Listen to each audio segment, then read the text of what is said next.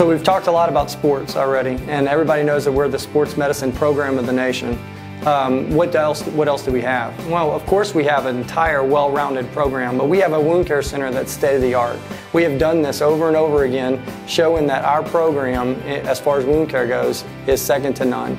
We built this um, this building from the ground up and made sure that everything we wanted within that building um, made the, the, a center of excellence for wound care. So we have a, a Luna scan, which is microfluorescence angiography. Um, we have all the state-of-the-art hyperbaric um, treatment centers. So all that together, that, that resident is going to get a very well-rounded education.